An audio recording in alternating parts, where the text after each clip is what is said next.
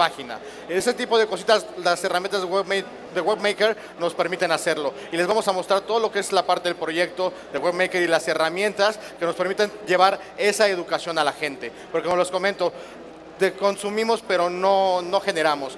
Muchas, muchas veces las personas piensan que mejor crear una página web o algo por el estilo es un gurú de la informática y es aquella persona que tiene un conocimiento vasto. Sí, obviamente hay que conocer para poder ejecutar las cosas, pero no se requiere una gran ciencia para hacer una página tan sencilla. Ya si quieren hacer algo con JavaScript y algo por el estilo, ahí sí ya ocupamos temas de programación, pero es muy claro que HTML no es un lenguaje de programación, es un lenguaje de etiquetas y el JavaScript nos da la fortaleza para poder hacer ese tipo de cosas.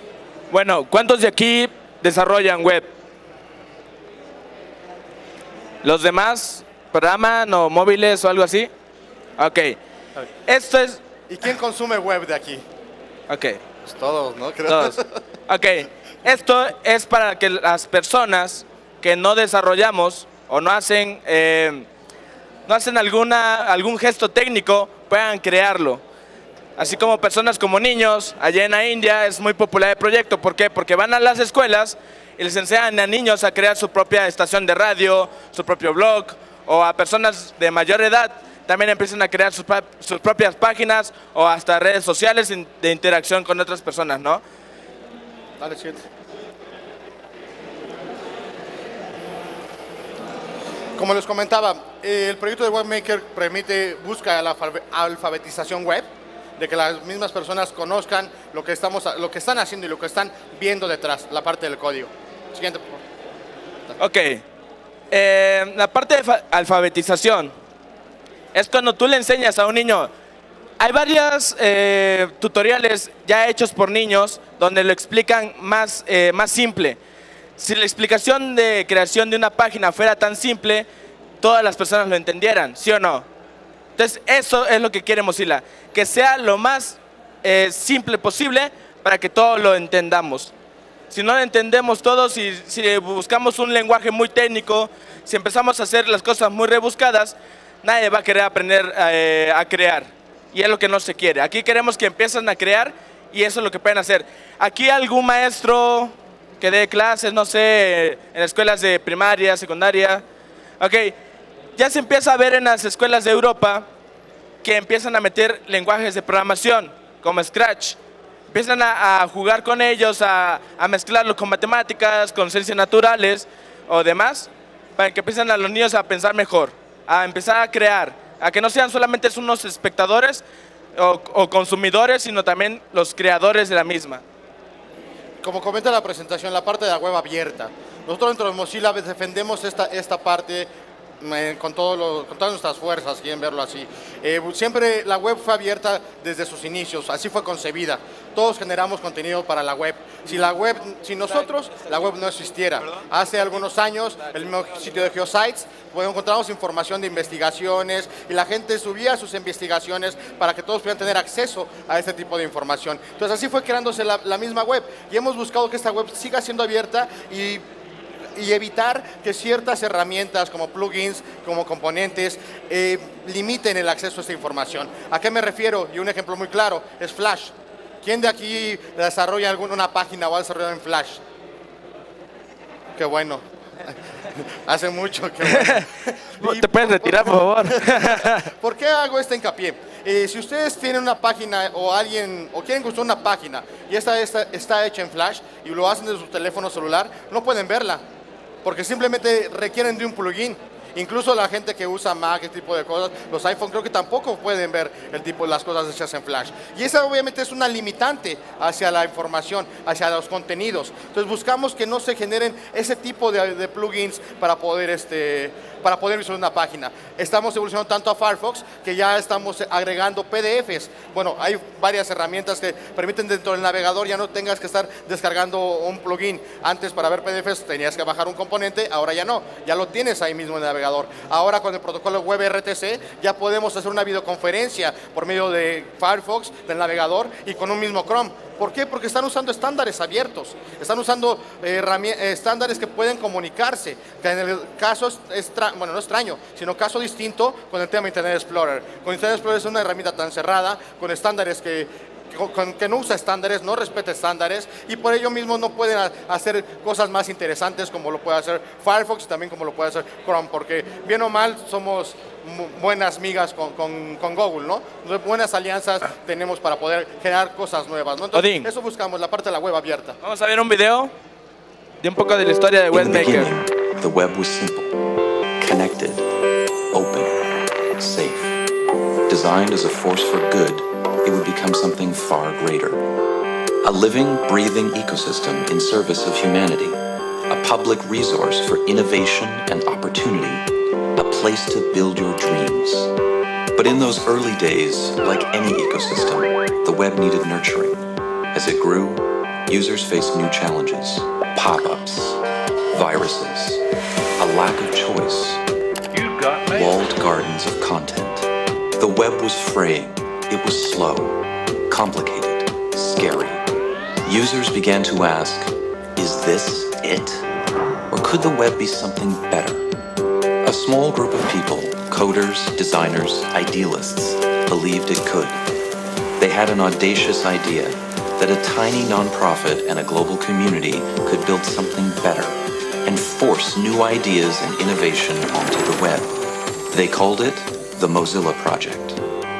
They began by making a new kind of web browser, what we know today as Firefox, and they made it a nonprofit so it would always put the people who use the web first.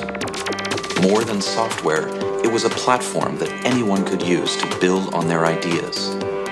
The nuisances diminished. The foundations of the web we know today began to appear. Now, the web is a place where you can build almost anything you imagine. Mozilla and Firefox exist to help people everywhere seize this opportunity and to stand up for users in a world where choice and control are too often at risk. But what if Firefox was just the beginning? What if it was part of something bigger? From user privacy to Firefox Mobile to apps and identity, we're pushing the boundaries of the web every day. And we're going beyond software. We're helping to build a generation of webmakers. We believe the web is a place where anyone can come to build their dreams. It's why we make Firefox. It's why tens of thousands of volunteers help build our products. It's why hundreds of millions around the world use our software. But most importantly, it's why we always put you first and stand up to those who don't. Millions know us for Mozilla Firefox, but we're about so much more. We're a non-profit fighting to protect the web we all love. Join us. We need your support. Make a donation today.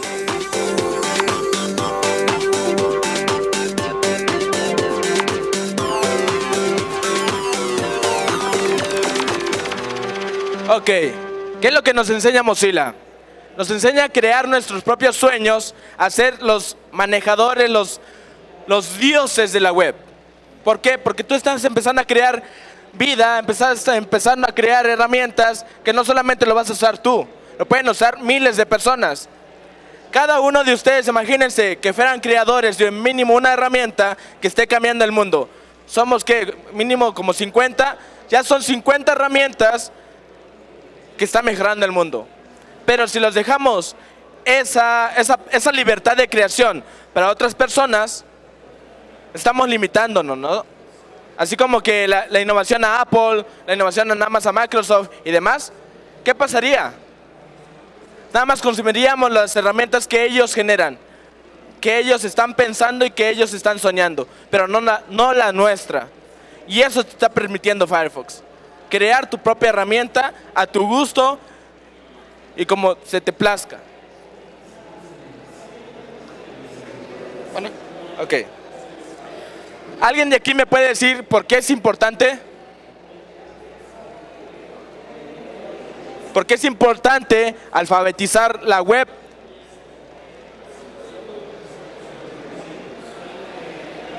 Bueno, es, es la mejor forma de comunicación, de, de creación de un ente social en la humanidad y quien no se incluya en la web no se incluye como un ente social. Claro, ahorita eh, básicamente todos consumimos web. No hay nadie en este mundo que mínimo no esté entrando en internet una vez al día.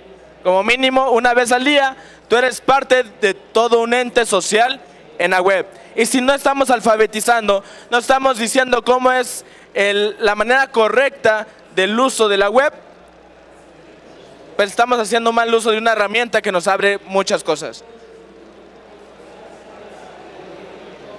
Dale, dale. Bueno, vamos un poco de, datos. Más de 2.400 millones de usuarios en el mundo. Poquitos, ¿no? ¿O muchos? De acuerdo con datos oficiales, son 12 millones de usuarios de Internet en Venezuela. eso fue una presentación de Venezuela. Pero ¿cuántos millones de personas no están entrando a Internet aquí en México? ¿Cuántos somos? ¿Mil millones? Mil millones de personas que pueden estar creando, como les dije, una herramienta a su gusto, está creando cosas para las demás personas. Están haciendo mejor la Internet. Si todos estamos empezando a hacer mejor la Internet, qué, qué bonito sería el mundo, ¿no? Qué bonito sería el Internet.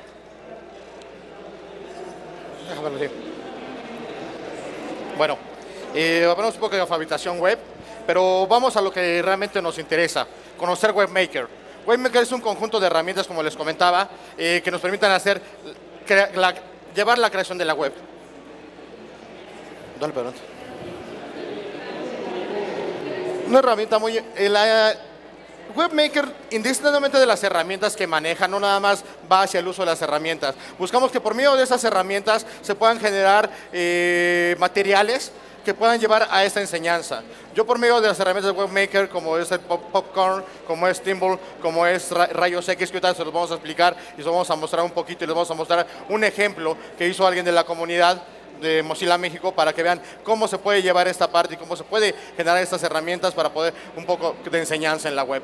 Como vemos, podemos crear kits de enseñanzas, actividades dentro de WebMaker para que la misma gente pueda, pueda ocuparlos. Yo puedo meterme al sitio WebMaker, creo mi kit de enseñanza, creo una actividad, la subo y cualquiera puede usar esa actividad para que la pueda estar impartiendo. Hay mucho contenido en inglés, sí, hay mucho contenido en español también, es para todos. Esa es la, idea, que yo lo que genero de Webmaker pueda compartirlo y que la gente también pueda hacer uso de estas mismas herramientas. De, hecho, Dean, eh, Webmaker está localizado en español por parte de la comunidad. Alguien que dijo, ¿sabes qué? Está en inglés, vamos a pasarle español, ¿no? Y todo el contenido se ha ido pasando a español. También ustedes pueden hacerlo. También ustedes pueden integrarse a la parte de localizadores para que las cosas que estén en, en inglés se pasen a español y lo pueden utilizar muchas personas más. Eso es muy importante lo que dice Alex. Eh, no les comentamos, pero Alex y yo somos voluntarios. No trabajamos para Mozilla. Yo tengo más o menos ocho años colaborando para la, Fundación y para Mozilla. Y eso es una, un, una base muy importante de, mismo Mozilla. Serán unos 800 mil empleados, pero somos más de 10 mil voluntarios. Son muchísimas, muchísimas personas que colaboramos para Mozilla. Y todos los productos que salen, salen en inglés, obviamente, porque pues bueno, es el, el lenguaje que más se habla en, todo el mundo. Pero la labor de los voluntarios es localizar este tipo de, software o herramientas a un lenguaje donde todos podamos entenderlo. ¿no? No, es, no hay nada mejor que usar un software en tu propio idioma. Sabemos inglés, sí, qué padre, pero si es importante y te sientes más a gusto, no sé si les haya pasado, usar un software en tu misma lengua, ¿no? Entonces, es por eso importante hacer un poco hincapié en la parte de localización. Ok, ahora, no solamente dejando la parte de la, de la plataforma como enseñanza, también tenemos la parte de reconocimiento de tus skills de qué es lo que has hecho, qué es lo que has aprendido. Hemos aprendido JavaScript, ah, ok, se te pone tu insignia, tu budget de que ya aprendiste JavaScript o HTML5, o eres un rockstar de, de hojas de estilo, ¿no? O X cosa. También te da una parte de como de reconocimiento de, de, de tu aprendizaje, básicamente.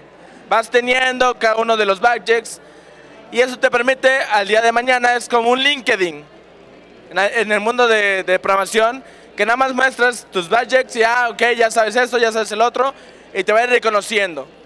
Bien, como lo comenta Alex, en el tema de la enseñanza por medio también de la web, existe el proyecto de Open Badges. ¿Qué es Open Badges? Ya lo dijo Alex. Simplemente una pequeña insignia en la cual tú le das el reconocimiento a la persona. Este valor de ese reconocimiento viene de la persona que está emitiendo el, el budget, ¿no? Y así tú puedes ir generando como que validando las actitudes de la persona de, de lo que está aprendiendo. O sea, tú puedes decir, hice un curso de lo que yo quiera, doy un, un budget y la persona que cuando entra a tu perfil va a poder ver todos los budgets que tú tienes. Entonces le damos un poco de, de fortaleza o de reconocimiento al- a lo que está aprendiendo. Y eso también es otra herramienta que nos permite eh, darle el valor a la enseñanza o, misma, o en su misma forma, pues bueno, este, mm, reconocer lo que la gente ha estado haciendo.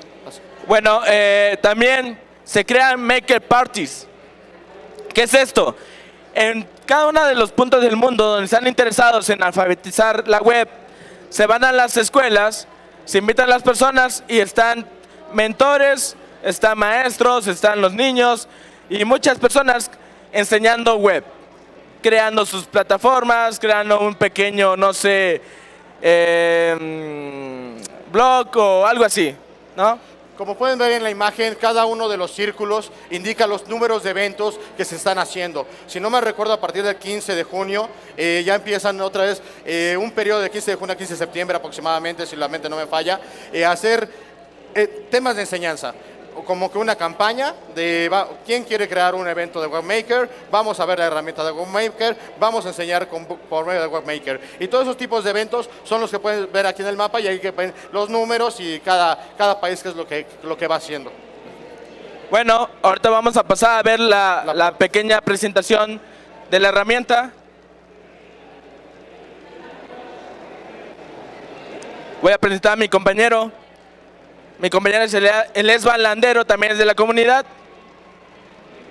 Hola, eh, como ya mencionó mi compañero, soy el Esfanlandero.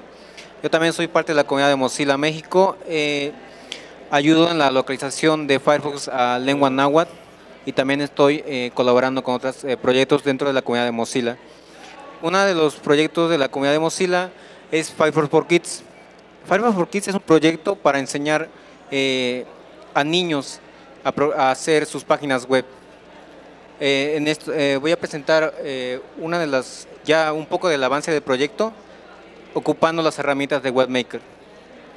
Antes de que Leva nos muestre lo que son toda, lo, lo que hemos estado trabajando, quiero, ver a- quiero que vean a, gra- a grandes rasgos las herramientas que tenemos para eh, poder, dices, bueno, ok, ven para WebMaker, pero ¿cómo enseño WebMaker? ¿Cómo, más bien, ¿cómo puedo agarrar las herramientas de WebMaker para enseñar a que la gente use web? Una herramienta muy sencilla son los super lentes rayos X. Así se le puso porque eh, ahorita van a ver cómo funciona esta herramientita que es muy sencilla, muy intuitiva.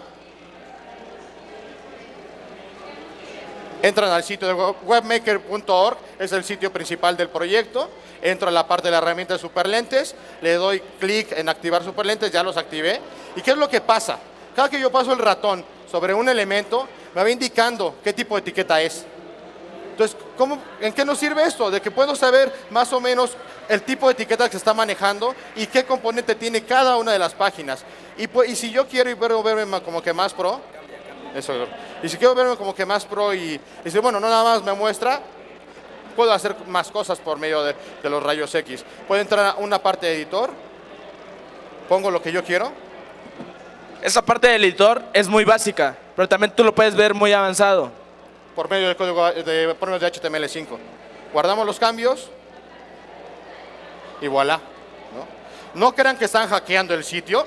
No estoy metiéndome a- al sitio de Webmaker y estoy destrozando Webmaker. Se van a meter a Campus Bar y lo van a vandalizar ahorita. Exactamente, no va por ahí. O sea, esto está guardando en caché. Estoy modificando el caché que yo tengo en mi máquina, la página que está guardada en mi, en mi caché. Pero, ¿qué nos sirve? O sea, podemos empezar a, a que la gente vea dónde es una imagen, cómo puede hacer un href, cómo puede meter un h1, cómo puede meter los distintos elementos de cada uno de, de- ¿Cómo, del cómo puede modificar sin echar a perder algo Claro. que esté en producción? Aquí lo puedes modificar y puedes modificar cualquier cosa, agregar una imagen, cambiar imágenes y no va a pasar nada. Tienes esa seguridad que te da la herramienta de poder modificar todo lo que tú quieras. Esta herramienta es como que la más básica, si quieren verlo así, la, más, la herramienta que nos permite dar como que el primer paso para aquellas, aquellas personas que, que quieren empezar a hacer web. Esto ya lo hemos implementado en niños, en, personas mayores, en, en unos cursos de, de otro evento de Aldea Digital. es de otra, es Otro evento Aldea Digital. Otro evento alterno de tecnología eh, y son talleres de media hora. Y los niños en- a- entran, modifican y se dan cuenta de que pueden crear cosas, ¿no? Entonces, eso es lo, lo interesante de la herramienta de, de, y el proyecto de WebMaker. Vamos a regresarnos al proyecto, a la página principal de WebMaker. Voy a mostrar la siguiente herramienta es Popcorn Maker. Al final vamos a mostrar Teambull, pero ya con el ejemplo real que trae este, el ESBAN. En la parte de Popcorn, como pueden ver, ya se pueden remezclar proyectos. ¿Qué quiere decir esto? Que puedo agarrar un proyecto que alguien ya generó. Y ese mismo proyecto yo puedo empezarlo a modificar. Pues, eso, bien. Agarran, eh, podemos agarrar cualquier ejemplo que puede estar aquí. Pero me gustaría primero que vean la herramienta nativamente, que comencemos desde cero. Yo puedo crear por medio de Popcorn, tomar contenido de la web. Obviamente buscamos que sea contenido Creative Commons, que no tengamos problemas de, de licenciamientos. No voy a lucrar con este contenido, eso es un hecho. Pero bueno, bu- también buscamos respetar mucho las licencias en este aspecto. ¿Puedo yo incrementar? ¿Puedo yo eh, agregar eventos? Agregar un texto, un texto emergente, un Google Map, una imagen, hacer que se repita, saltar, pausar y contenido de la Wikipedia. De hecho, hasta pueden poner eh, GPS, localización y demás. Vamos a agregar un pequeño texto. Ya me puso PopMaker. Tengo una línea de tiempo en la parte de abajo, como pueden, ahí, como pueden verlo. Yo puedo determinar qué tiempo dure este tipo de evento. En este caso yo nada más quiero un texto aquí y quiero que inicie, ah, que quiero que esté desde el inicio. Voy a agarrar otro evento, un, uh, un texto de la Wikipedia. No voy a poner gran cosa para que sea más ágil y porque queremos que vean ya algo real. Ahorita estoy eh, dando un pequeño recorrido de lo que, puede- de lo que pueden agregar para, para WebMaker. Un, vide- un video. Agrega un ¿Dónde video de YouTube. ¿Dónde está? Un Google Map. Mm, un- medio. Tenemos medios, pueden agregar música, video de YouTube. Vamos a llevarnos, vamos a tenernos un video de YouTube. Para esto obviamente tendría que irme a YouTube.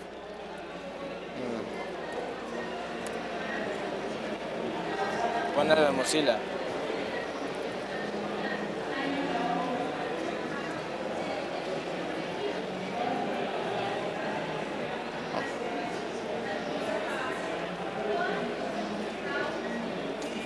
Hola amigos de YouTube.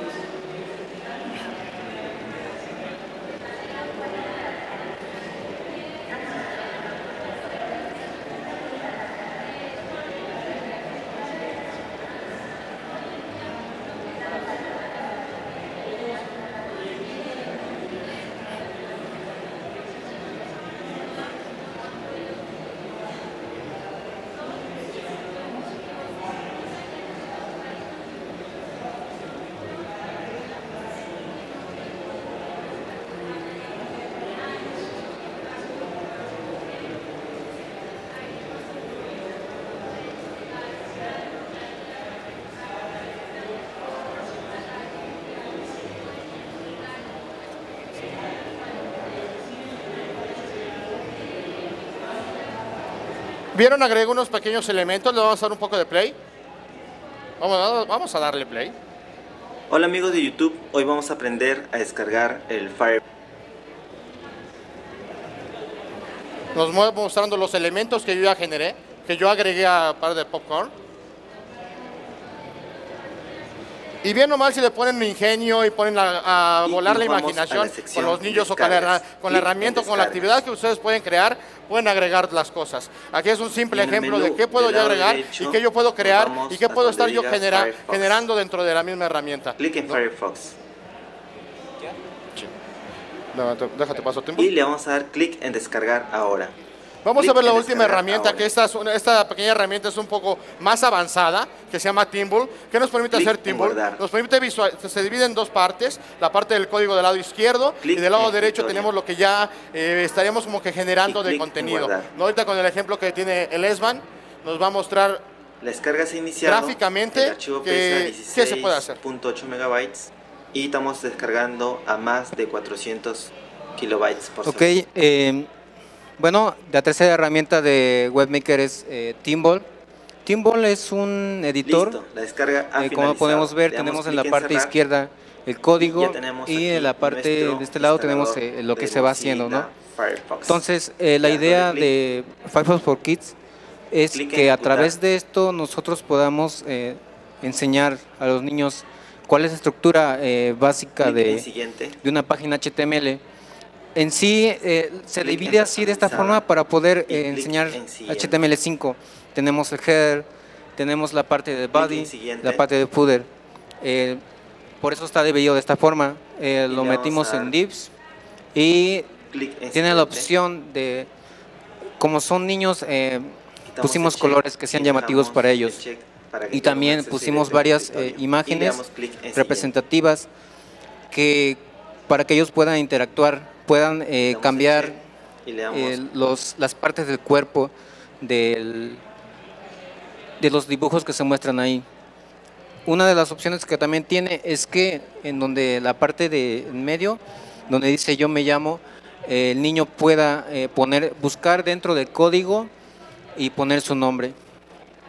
Anteriormente se había pensado hacer un botón y que ellos de alguna forma eh, pudieran solamente escribir su nombre y darle pulsar y apareciera, pero esto no iba a eh, interactuar el niño con el código, entonces optamos por cambiarlo y ponerlo de esta forma dentro del código. Ya eh, lo pusimos a prueba dentro de un evento y hay niños que se interesaron más allá de no solo cambiar y poner su nombre. Ah, hubo niños que me dijeron, oye, ¿sí, ¿cómo hago para que le cambie el color del botón, por ejemplo? ¿O cómo le hago para cambiarle el nombre de alguno de los botones? Entonces, eh, esta es una de las cosas que se puede llegar a hacer con las herramientas de WebMaker. Y bueno, aquí un ejemplo real de lo que se hace.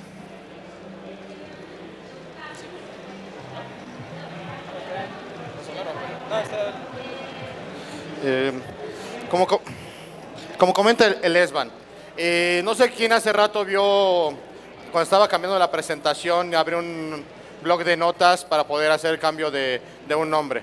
Si alguien lo pudo visualizar, era un poco tedioso porque era un blog de notas, no tenía un software instalado lado como derecho, Bluefish o alguna herramienta que me Firefox. permitiera eh, identificar las etiquetas, dónde cierra, dónde abre y realmente era como que por una especie todo un chorizote así todo horrible en en el cual no podía yo ahora. guiarme, ¿no? Pero sí, sí pude hacer mi ahora. cambio. Pero por medio de esa de la herramienta nos permite incluso ver el número de línea. O sea, es realmente como un editor de código tal cual. Clic ¿no? Y por medio de este editor de código, pues bueno, podríamos hacer Y todo este, tipo de herramientas. ¿no? ¿Qué es eso? De hecho, se pueden crear hasta videojuegos corriendo en tiempo real y modificándose. O sea, 16.8 cualquier modificación se va a visualizar a instantáneamente. 400 También te ayuda para que tú puedas aprender. Si en algún momento te llegas a equivocar, Listo, la descarga ha finalizado. Le damos hasta te cerrar. marcas, ha- hace Y un debugger y te marca dónde está tu error De Mozilla Firefox. Le das doble clic y te marca por qué, ejecutar. ¿no? Clic en siguiente. Entonces, es una herramienta también, se ve sencilla, pero a la vez es muy poderosa. Si lo saben hacer, si ustedes están enseñando, si tienen hermanitos o su mamá que quieran aprender, esto es muy simple. Y, no tienen que descargar nada, todo está corriendo sobre la web y listo. Podrán decir, bueno, aquí hay un pequeño problema, le no, no tengo internet. Por desgracia, WebMaker sí requiere este. El, el acceso a internet, pero también pueden instalar WebMaker. El código lo tenemos en la red. Eso es otra ventaja de Mozilla. Es software libre. respeta estándares, respeta la libertad del usuario, respetamos al usuario. Es una misión importante dentro de Mozilla, el respetar completamente al usuario. En su momento, el año pasado, y no recuerdo si este también, pero fue, mo- fue Mozilla fue No eh, catalogada nada. la empresa número uno en proteger la información del usuario. Nosotros no vigilamos al usuario, ni vamos viendo por dónde va, va navegando. en Que existen las cookies de terceros, sí, ese es otro tema, pero no, no es tema nuestro. Pero sí, ese es el objetivo de Mozilla, también preservar la, la- la seguridad de la información. Y por medio de las herramientas que son de código abierto, se encuentra el código eh, en, en a internet, pueden descargar el código y- hacer modificaciones y tener un webmaker local para no estar dependiendo un poco del acceso a internet. Las herramientas ahí están, el proyecto webmaker está pa- para que todos puedan colaborar, para que empiecen a generar eh, educación para la web. a Y bueno, los invitamos a que prueben eh, la herramienta, eh, entren a Webmaker, generen contenidos, los compartan, compartan la información, compartan el conocimiento, que eso es algo muy importante. Muchas veces hemos, nos hemos adaptado a eh, sistemas donde somos ya a veces un poco envidiosos en querer compartir el conocimiento. No, no debemos de ser así. El, conocimiento debe ser abierto. ¿Por qué? Porque podemos enriquecernos de lo que la gente va haciendo. Y es un tema muy claro el tema del software libre. La gente genera software, lo sube, ve los bugs, te ayuda a corregir los bugs, le genera cosas nuevas a la herramienta y vas, creando- vas construyendo conocimiento, vas construyendo un software el cual va, va a generar un beneficio social. Yo le llamo al software, libre, al software libre como un software democrático. No podemos ya mejor meternos en temas de es la democracia, si existe o no, pero bueno, tiene acceso, a la- todos tienen acceso a este tipo de software y las herramientas pues ahí se encuentran, ¿no? Bueno, eh, si tienen alguna pregunta, ¿Alguien tiene una pregunta, duda? un chiste, un chisme o algo. Sí, eso es lo mismo.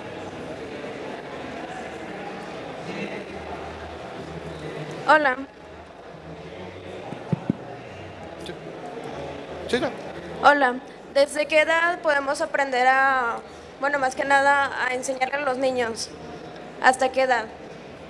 ¿O Pues, desde mira, realmente la herramienta no tiene límite, o sea, eh, como te comentaba hace rato, esos cursos o el, o el enseñar a usar las herramientas lo ha hecho niños de 6 años, 7 años, 8 años y hasta señoras de 70 años, ¿no? Entonces, realmente para aprender no existe un límite.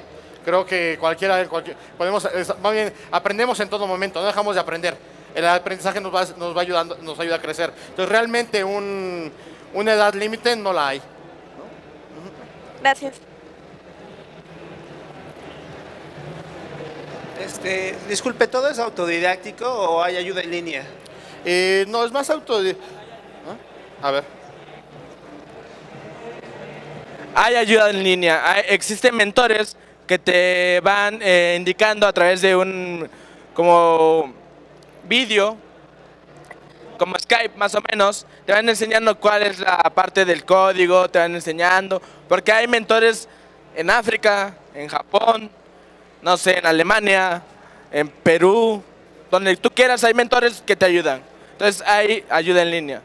Sí, de hecho, lo del mapa que vieron hace rato de los eventos, si alguien quiere hacer un evento webmaker, puede hacerlo y puede, ser- puede irse hacia dos, públicos, hacia dos líneas. Enseñar a gente, niños, cualquier persona que quiera aprender o que desea apre- aprender por medio de webmaker, o, o enseñar a gente que, apre- que aprenda para enseñar. ¿no? O sea, yo te enseño la herramienta de Webmaker, aprende a usar la herramienta de Webmaker y tú transmite el conocimiento o con esa herramienta que tú ya tienes puedes empezar a generar contenidos dentro de Webmaker. Entonces van por esas dos líneas, tanto la gente que pueda, como los mentores, como lo comenta Alex, que, que- tenga el interés de enseñar por medio de Webmaker o aquel que llegue y nada más enseña simplemente la parte de la herramienta. ¿Alguien más? Un gusto. Eh, ¿Existen plantillas más avanzadas?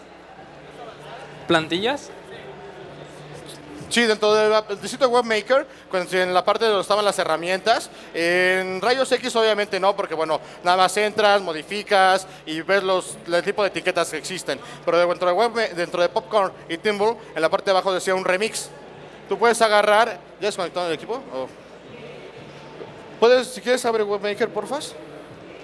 Y con Chrome. ¿Eh? Y con Chrome lo están abriendo. Bueno, yo, yo tenía Firefox abierto. Yo sí tenía, yo tenía Firefox abierto, no fui yo. Ábrete Firefox, porfa. Nada más para que vean rápido este, Las, la- los, las- los- los algunos templates. ejemplos que Sí. ya están creados y que ustedes pueden empezar a modificar. Pero sí, existen plantillas para poder eh, no salir desde cero, sino empezar a ver ya proyectos, cómo han creado ya proyectos. Sí, hay plantillas muy básicas a plantillas muy, muy complejas para que tú puedas aprender. ¿Alguien más una pregunta en lo que nos muestra en la parte de WebMaker? Gracias. Se, se le ha, se, se ha usado con niños que no hayan tenido acceso a la tecnología. O sea, eh, yo trabajo con niños que realmente de comunidades rurales donde no hay, si acaso alguien en la comunidad tiene una tablet o algo así, se puede utilizar eh, o, o hay quien asesore para, para ayudar al... Suben el volumen. Eh, para enseñar a, a estos niños que no tienen en realidad acceso a la, tanto acceso a la tecnología. Sí, o sea, por supuesto, digo, la, la herramienta de WebMaker no tiene una limitante. Es, es- es- cualquiera puede aprender dentro de la web. Digo, al igual el acceso a la tecnología y al igual la curva de aprendizaje puede ser menor o mayor. Desconozco también el tipo de niños, ¿no? Pero sí se puede usar para cualquier tipo de, de- de personas, ¿no? De hecho, dentro de poco tenemos un evento en Oaxaca, en la Sierra de Oaxaca, donde tienen muy poco acceso a Internet y vamos a llevar WebMaker y vamos a hacer actividades con niños por medio de WebMaker. Entonces, te avisamos de dónde va a ser el evento para que puedas asistir, pero sí, no hay limitantes para el uso de la herramienta. Cualquiera puede aprender con ella. Perdón, ¿y para asesorías para este proceso? O sea, al que nos asesoren a un grupo de voluntarios para... ¿Es del DF? No, soy de León. De León. Eh, podemos ayudarte, hay varios mentores dentro del proyecto de Webmaker. Está Luis, eh, no sé Alex cómo anda en ese sentido. A mí también me ha tocado enseñar aparte de, de Webmaker usar las herramientas. Nos ponemos en contacto y te enseñamos sin ningún problema, ya sea en línea. Vemos la manera que puedas, eh, que aprendas más de la herramienta. Obviamente también el tema autodidacta es muy importante.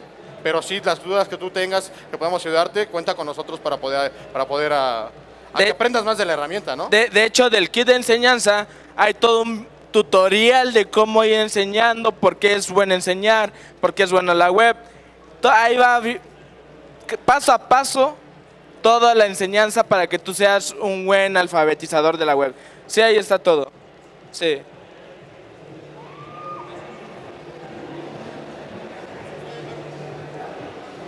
Dentro del sitio están todos los recursos, están las herramientas y aquella que comentaba que si ya había algo ya realizado donde yo pueda modificar, sí lo existe, está para Timble y está para Popcorn. Al darle clic a mezclar una creación, vamos a una, creación de, de nos pasa todos los ejemplos que ya se han hecho. La gente ha creado contenido y lo ha subido y lo comparte para que todos podamos remezclar. De hecho, casi todo el contenido o todo el contenido que se hace se sube a esa plataforma y ahí vas a encontrar tus proyectos. Para que otra persona llegue y lo mejore, o llegue y lo empeore, o pase algo más o mejor. Ese es un proyecto de Timble.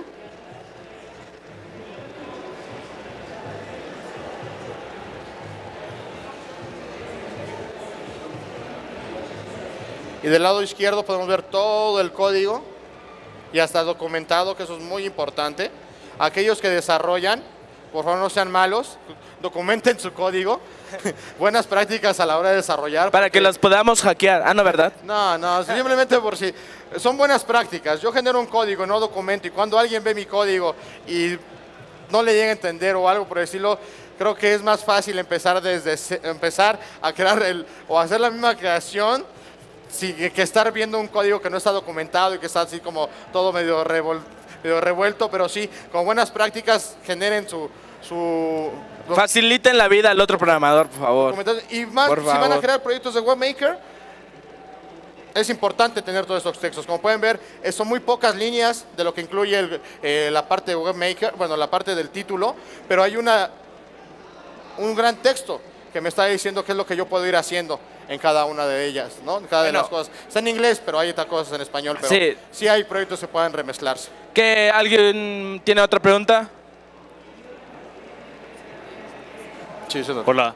Este, ¿Cómo implementan las hojas de estilo? Por ejemplo, si yo quiero apartar los estilos en varios archivos ¿Y tiene soporte para llevar a cabo jQuery o JavaScript o es solo HTML?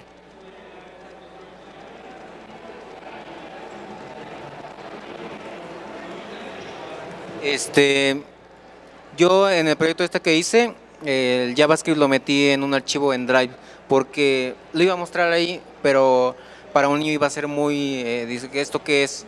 Entonces, eh, sí se puede, yo, eh, solo tienes que poner el link de dónde está tu JavaScript y eh, mi CSS también está en Drive, está guardado en Drive, ahí lo tengo y este, pero está abierto al público también el, tanto el JavaScript como el CSS.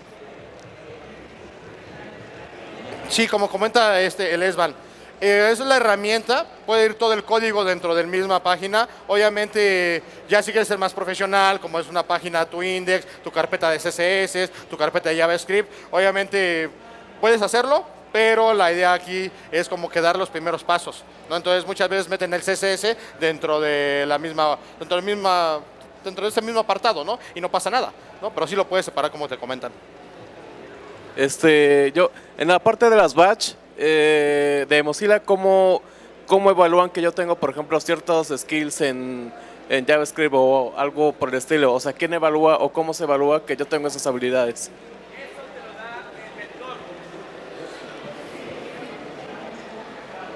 Eso te lo da el mentor a través de ciertas actividades que tú has complementado y te ha visto, ok, ya las complementaste, están bien, te doy el budget. No es así como que, ay, mira, hay budgets por todos lados y los agarro. Y ya me digo que soy un rockstar, ¿no? O sea, eso te lo da el mentor. Eh, lo crea el mentor y es de él. Y solamente él puede dar los budgets. Sí, esa es por la parte cuando implementas el tipo de open budgets, ¿no? Pero si tú nada más vas a usar el tema de la herramienta de WebMaker, pues bueno, este, pues no, no requieres así como que, mm, obviamente vas a enseñar, y va- debes de saber ya JavaScript, ¿no? Obviamente es un hecho. No puedes enseñar de la nada, pero tienes que aprender tú para poder compartir el conocimiento. Pero entonces realmente WebMaker como un evaluador, como tal, eh, con los mentores que te comparten el conocimiento, pero así dentro de WebMaker digas, ah, tú eres bueno para WebMaker, lo vas agarrando por medio de la práctica, pero así, los budgets son así como que eh, el plus para, este, para reconocer de que sabes usar web- eh, WebMaker, ¿no? ¿Alguien O- tiene otra pregunta? ¿Otra pregunta? ¿Nadie? Bueno, eso sería todo. Muchas gracias por estar aquí. Gracias por su tiempo.